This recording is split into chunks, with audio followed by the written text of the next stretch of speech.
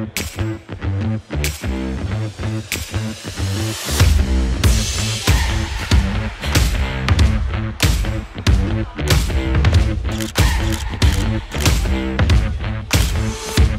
is the red carpet screening of Written in Chalk, The Echo of Arthur Stace, which is a documentary we've been working on for a number of years now. Today we're expecting about 200 people to come along.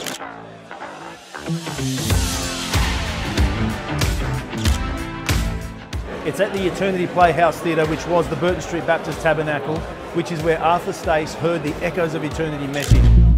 In my research, looking at where eternity started, it's all sort of based around Arthur Stace.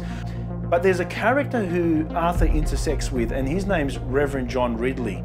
The eternity message was given to John Ridley first.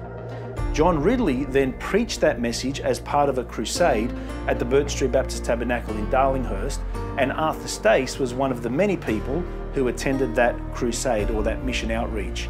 And that is where the eternity story started.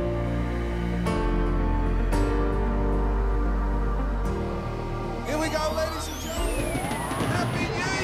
had been such a build-up to this moment in time where eternity actually meant everything. 2,000 years and then the next 2,000 years summed up in one word. I thought I'm part of something big.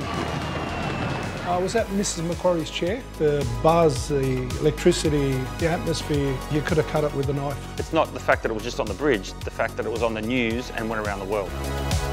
That's the purpose of an opening ceremony, to find out more about Australia. Eternity was a real focus on the Aboriginal heritage of Australia and the importance of Aboriginal culture and society. The whole world was watching Sydney. The mystery of Arthur Stace was what allowed the Eternity word to become a symbol and an icon first.